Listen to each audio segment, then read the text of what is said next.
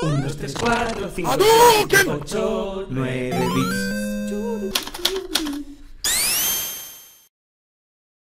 Hola, ¿qué tal? Muy buenas a todos.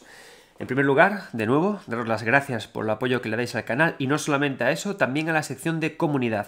Me estáis dando eh, buenas recomendaciones y buenos consejos sobre por dónde puedo avanzar con el canal y de hecho uno de nuestros usuarios, José, me ha recomendado que me meta a investigar sobre el multiverso de Amala de la serie Shin Megami Tensei y ya estoy a tope con eso para que algún día pueda meterme más en profundidad de, todo lo que es Shin Megami Tensei, porque he jugado a mogollón de juegos, pero la verdad es que todavía no me he metido lo que es a fondo, a fondo, a fondo, a fondo para poder responder a la pregunta de eh, oye, Adrián, el multiverso de Amala, cómo se conectan los juegos, qué hay ahí de lore, hay narrativa compleja ahí. Entonces, todas estas cosas que queráis que investigue para algún día empezar a contároslo en el canal, oye, yo encantado porque no os quiero engañar, eh, no hago este canal por pasta, sino por poder hablar con vosotros y que me recomendéis qué cosas podemos jugar o, qué puedo jugar, ¿vale? Entonces, precisamente por eso, por recomendar qué cosas interesantes eh, podemos jugar o qué cosas podemos darle caña, os traigo hoy un análisis de las primeras impresiones de Death Trash. ¿Por qué es un análisis de las primeras impresiones? Porque Death Trash aún está en acceso anticipado.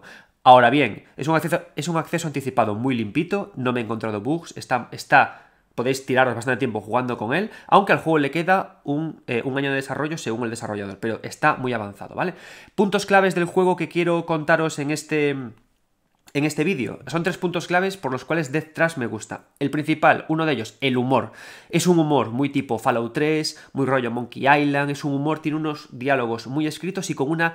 ese humor absurdo, ridículo, eh, catárquico, pedante, decadente, ¿no? Que a mí me, encanta, ¿vale? Ese, tipo de humor de... Pff, me muero, jajaja, ja, ja, ¿no? Es un humor muy, muy, muy atractivo. Segundo, el estilo pixelado, un estilo sucio, un estilo muy, muy difuminado, muy, muy expresivo dentro, de, su indeterminación, que me encanta. Y tercero, porque es un mundo abierto contenido, que son los mundos abiertos que a mí más me gustan, ¿vale? Entonces, vamos a hablar de Death Trash. Ya directamente, si os interesa lo que os he contado, podéis darle caña sin miedo, porque es un acceso anticipado muy atractivo de un juego súper interesante. Empezamos con la idea de mundo abierto, ¿vale? Detrás no es exactamente un mundo abierto libre, es decir, eh, no es un mundo abierto tipo Red Dead Redemption 2, ¿vale? Es más bien un mundo abierto de los que a mí me gustan, los que yo llamo los mini mundos abiertos, los mundos pequeñitos abiertos. Eh, tenemos un gran mapa mundi, un gran mapa mundi mudo, y nosotros nos movemos por él. Y a medida que eh, cuando charlamos con gente nos dan misiones, o incluso cuando vamos por el mapa mundi nosotros, como, como siendo un cursor, pasamos por una localización, podemos acceder a ella, ¿vale? Entonces, cuando accedemos a las localizaciones de estos mapamundis, eh, digamos que ahí hay un grupo de gente, hay encuentros, hay charlas y pasan cosas raras. Death Trash es un título que a mí me ha recordado muchísimo a Fallout 3, porque como os decía, a mí los mundos abiertos como tal no me atraen, ¿vale? A mí me dicen, este juego es un mundo abierto. No me da gustirrining, ¿vale? No me da, no me da picorcito rico. No me pone cachondo, ¿vale? Pero sin embargo creo que eh, cualquier género, cualquier género te guste más o menos, cuando tiene un juego muy bueno, te va a gustar, ¿no? Y a mí eso es lo que me pasó con Fallout 3. Sin gustarme los mundos abiertos, llegué a Fallout 3 y para mí fue como, como con Red Dead Redemption, el primero, que fue como, wow, me gusta. ¿Y por qué me gusta? Me gustó porque es un mundo pequeño muy contenido, con las ideas muy claras. Un mundo abierto de 30 horitas, con zonas pocas, pero cargadas de, de intención, de deseo, de cosas que contarte zonas con muy poco relleno, zonas en las que, en las que perderse es atractivo, porque a mí Assassin's Creed no es, un, no es una serie de videojuegos que me apasionen, aunque Valhalla es cierto que me, no está nada mal, porque son videojuegos que te animan a ir a sitios. Y a mí me gusta perderme y encontrarme, encontrarme cosas raras, ¿no? Creo que la idea más atractiva de un mundo abierto es wow, me he encontrado esta cosa rara que, tengo la sensación de que solamente me la he encontrado yo. Y eso me pasó en Fallout 3, me pasó en Red Dead Redemption 1 y me está pasando también con Death Trash. Porque pasan cosas inesperadas. Y eso es lo chulo, es un juego, un mundo abiertito, como os digo, muy, muy contenido, con muy poca intención de hacer relleno y que además lo apoya mucho con un estilo gráfico pixelado, sucio y con su humor. A mí el estilo pixelado el, los píxeles, el, ver un juego con píxeles, no me gusta por la nostalgia. Me gustan porque el estilo gráfico pixelado tiene una, una, una, un atractivo muy importante y es que Y de hecho, eh, pude entrevistar, por ejemplo, a los productores de Dragon Quest 11 y les pregunté, oye, productores de Dragon Quest 11, de cuyos nombres no me acuerdo, no os voy a engañar, ¿por qué habéis introducido una serie de secciones en Dragon Quest 11 en la que los personajes son pixelados, ¿no? Y podían haberme dicho, ostras, pues por nostalgia, por vender más, pero no, te dicen, mira, es porque nosotros sabemos que los estilos pixelados lo que hacen es que al dar poca información le permiten al jugador rellenar esos vacíos de información con su propia imaginación, ¿no? Y entonces lo que tenemos es que el pixel tiene una gran capacidad de inmersión, ¿no? De meterte a ti como jugador. Me gusta mucho la idea de que el videojuego es una coautoría entre el desarrollador, el equipo de desarrollo y el jugador, ¿no? Cada uno pone algo. El videojuego no funciona si alguien no lo activa, pero lo que te cuenta el videojuego en sí y lo que no te cuenta y tú, y tú propones, lo pone el propio jugador. Y por eso mola mucho el videojuego porque cada uno tiene una experiencia ligeramente distinta, radicalmente distinta en función del videojuego que sea. Y con el pixel tenemos mucho esa sensación. Y con Death Trash ocurre mucho eso. Es un píxel grotesco, grueso, que tiende a lo sucio, a lo, desordenado, a lo desenfadado, ¿no? Y entonces hace, hace, que te permita a ti rellenar de información con tu imaginación. Ocurre un poco como cuando hablábamos, cuando tenemos a, este link retro, ¿no? Nosotros aquí no vemos absolutamente nada, podemos imaginarnos al link que queramos. Y precisamente por eso Link ha podido evolucionar hacia un Link adulto, hacia el Link de Breath of the Wild, pero también hacia el Link eh, hacia, este link. Y todos son representados igualmente por este, ¿no?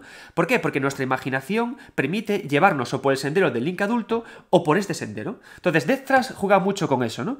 Pero esta, esta sugerencia hay que guiarla hacia algún lado. Tú no puedes poner un píxel y decir, que cada uno se imagine lo que hay. No, el resto del conjunto gráfico, el resto del, argumento, de la construcción del mundo, tiene que proponer cosas, ¿no? Y aquí entramos en una de las cosas que a mí me han gustado de Death Trash.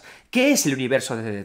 Death Trash, imaginaos un, un mundo tipo Mad Max, tipo Fallout 3, pero que el girito no es ni el cyberpunk, ni el steampunk, ni, ni una guerra nuclear, no. Es que los grandes, es que el horror cósmico, es que esos titanes tentaculosos, cárnicos, de pesadilla, han invadido el mundo.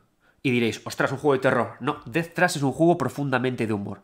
Para os poner un ejemplo, nada más eh, salir del tutorial, y llegar al mundo de juegos vais a encontrar a una gran masa de carne con unos ojos gigantescos, que aparte está guay porque el píxel de detrás es muy indefinido para los, para los personajes pequeñitos, para los humanos, pero cuando nos encontramos con estos titanes kármicos, horror cósmico, Lovecraft, de repente pasa lo contrario, son más definidos porque la escala es mayor, ¿no? Y nos encontramos a uno de estos titanes cárnicos con sus tentáculos y te dices tú, ostras, un boss, y no, te, dice te dice el titán, es que me encuentro solito, ¿puedes enviarme amigos?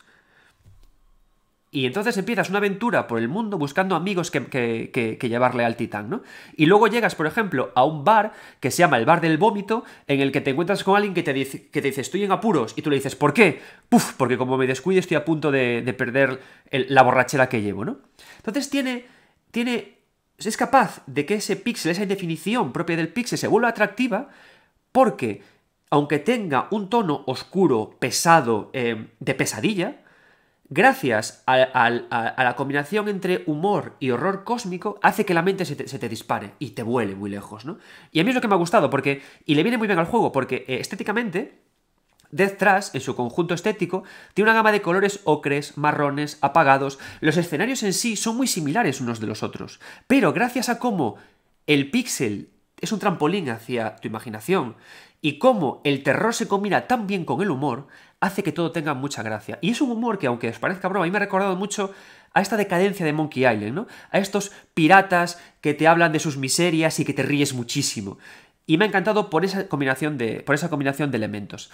Entonces, Death Trash es un videojuego increíble, maravilloso, perfecto, eh, game changer, oh my mind, eh, mm, me vuelvo loco. No, tiene cositas que por eso está en Early Access que hay que pulir. Por ejemplo, cuando jugamos a Fallout 3, si recordáis, eh, tiene una cosa genial que a mí me encanta, ¿no? Que es un combate guarrísimo.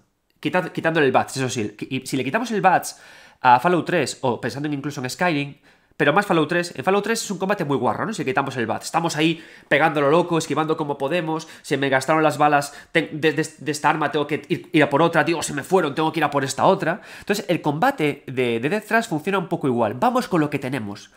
Y cuando mejoramos nuestro personaje, lo mejoramos en función de lo que vamos viendo, ¿no? Le ponemos un poco de puntos al uso de armas de fuerza, otro poco de puntos al, arma de rifle. Entonces, cada encuentro que nos encontramos en Death Trash es un...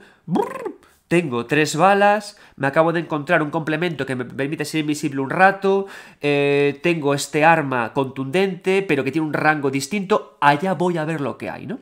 Entonces tiene un combate súper guarro en el que tienes que aprovecharte muchísimo de cosas poco finas del juego, como que cada vez que un personaje te ataca, tiene un patrón muy muy concreto y un área de ataque muy concreta. Y como es un juego pixelado con unas animaciones muy limitadas, tu personaje no tiene, eh, digamos, no tiene ni un parry, ni una voltereta exageradamente ágil, con lo cual acabas jugando mucho lo que hacíamos en Fallout 3. Me pegan, me aparto un poco, me vuelvo a acercar, pum, pum, pum, pum, pum, pum, pum, pum. Y queda un poco raro pero a la vez le da esa cosa guay de cuando jugamos a estos juegos de Bethesda, de que te metes en una, en una fortaleza enemiga, cargada de enemigos, tú estás en inferioridad numérica y en inferioridad de, fuerza, pero sabiendo aprovechar todas estas guarradas de movimientos de los enemigos, te los acabas matando a todos y al final acabas diciendo, si el gameplay es tan pobre, si he tenido que aprovecharme de trucos de patrones de ataque, ¿por qué me lo he pasado tan bien? ¿no? Y lo cierto es que te lo pasas muy bien. Es un juego con ese toque de supervivencia, con ese crafteo, y que a mí me está gustando un montón.